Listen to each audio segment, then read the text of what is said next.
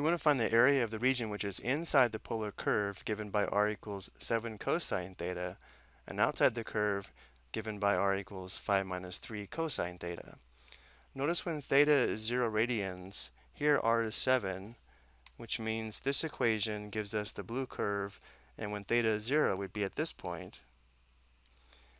And for this curve, when theta is 0, we'd have r equals 5 minus 3 or 2, which means when theta is 0 radians, we'd be at this point on the red curve. So our goal is to find the area inside the blue curve and outside the red curve, which would be this area here. To find this bounded area, we'll be using this formula here, where r sub 2 would be the outer radius, and r sub 1 would be the inner radius. But to find the limits of integration, we'll have to determine the angles where these two curves are equal to each other, which would occur at this point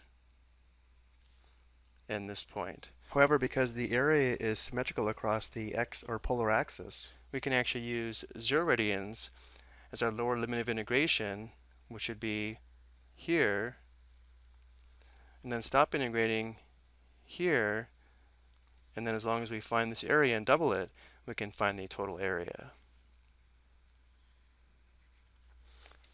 So we can almost tell from the graph this angle looks like it will be 60 degrees or pi over 3 radians.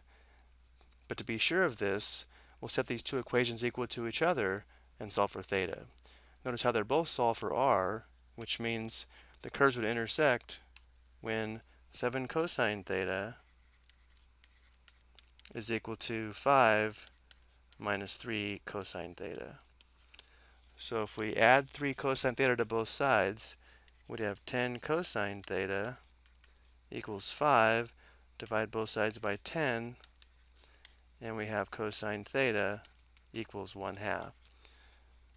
So if we to the unit circle, notice how cosine theta is equal to 1 half at pi over 3 radians, which we expected, but also 5 pi over 3 radians, or negative pi over 3 radians. But because we're using symmetry across the x-axis to help us find the area, we'll integrate from 0 to pi over 3 radians, and then just double the area. So the area of the bounded region would be equal to 2 times 1 half times the integral of r sub 2 squared, which would be 7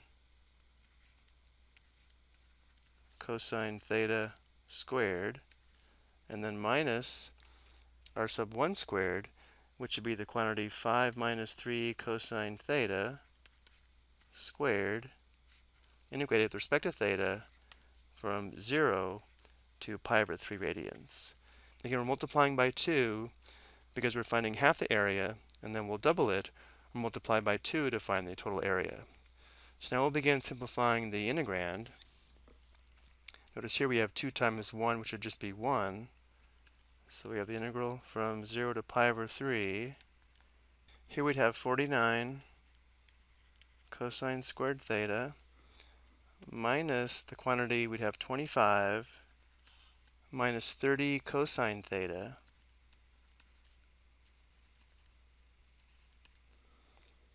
plus 9 cosine squared theta.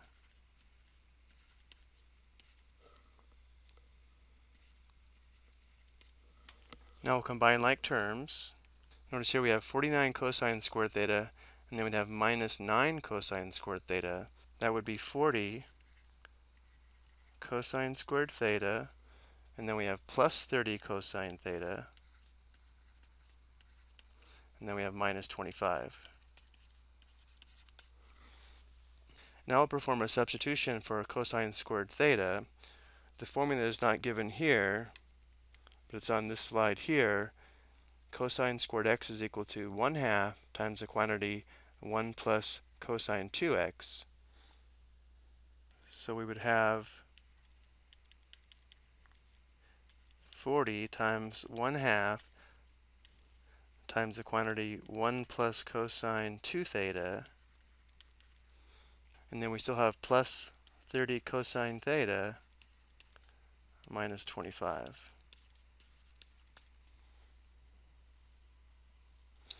So continue simplifying. Notice here we have 40 times 1 half, that's 20. 20 times 1 is 20, but then we have minus 25, so we have negative 5 and then plus 20 cosine 2 theta plus 30 cosine theta.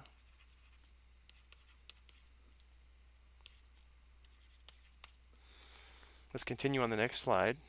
Now let's go ahead and find the antiderivative, but notice how when we integrate cosine 2 theta, we'll have to perform u substitution, where u equals 2 theta, and therefore differential u equals 2 d theta, dividing both sides by 2, 1 half differential u equals d theta. So we'll have an extra factor of 1 half when integrating cosine 2 theta. So we'd have the antiderivative of negative 5 with respect to theta would be negative 5 theta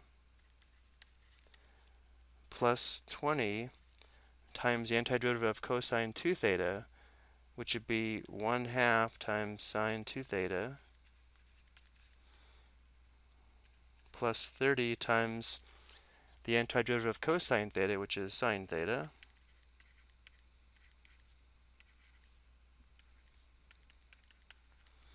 So now when theta is pi over 3, we'd have negative 5 times pi over 3 plus, this would be 10 times sine of 2 times pi over 3, which would be 2 pi over 3, plus 30 times sine pi over 3. And then when theta is 0, we would have 0 plus 10 sine 0 plus 30 sine 0. Since sine 0 is 0, everything here is just 0. So we have negative 5 pi over 3 plus 10 times sine 2 pi over 3. So going back to our unit circle, sine 2 pi over 3 is equal to the y-coordinate of square root 3 divided by 2. And then we have plus 30 times sine pi over 3, which would be, again, square root 3 divided by 2. And now let's go to the calculator and get our decimal approximation. We have negative 5 pi divided by 3 plus 10 times square root 3 divided by 2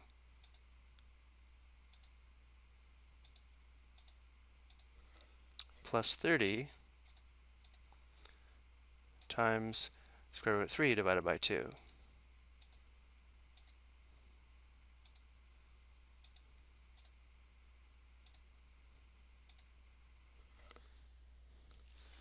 So the approximate value is 29.4050,